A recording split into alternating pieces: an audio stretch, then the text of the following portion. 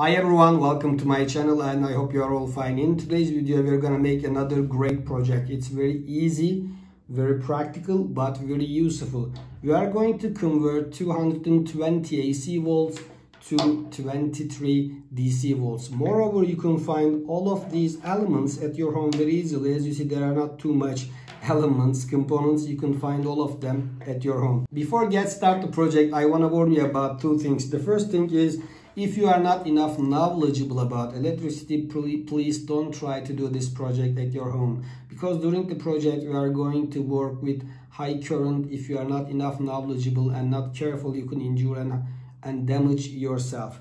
The second things, with this electronic circuit, you will it will provide you about 23 DC volt, but the current is very low, about 100 uh, milliamps so you can't use this device um, for the powerful applications. You can but you can charge uh, your battery you can charge your uh, lead acid battery and for some uh, lightning projects you can use uh, this device very easily. So if you are ready let's start the project. But before get start the project project please subscribe my channel and like the video